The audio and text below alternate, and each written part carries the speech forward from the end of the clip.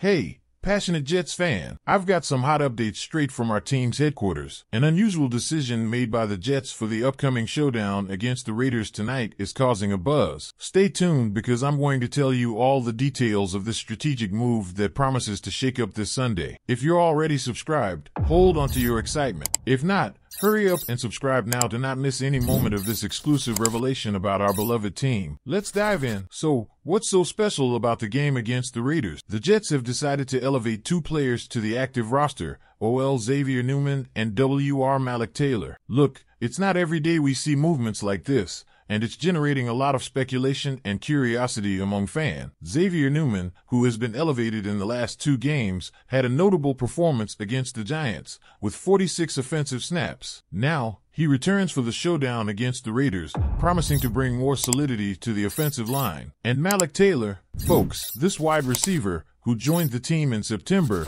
is also back on the active roster after standout performances in recent games. A name that could surprise and make the opposing defense stand on edge. But here's the twist. Both these players will return to the practice squad after Sunday's game. Yes, you read that right. A bold strategy that is raising many questions about what the Jets are planning for the upcoming games. So, what do you think of this move by the Jets? Will Newman and Taylor be key pieces for the victory? Comment below. And don't forget to subscribe to not miss any moment of our team here on Jets News. The game promises, folks. Let's go all in.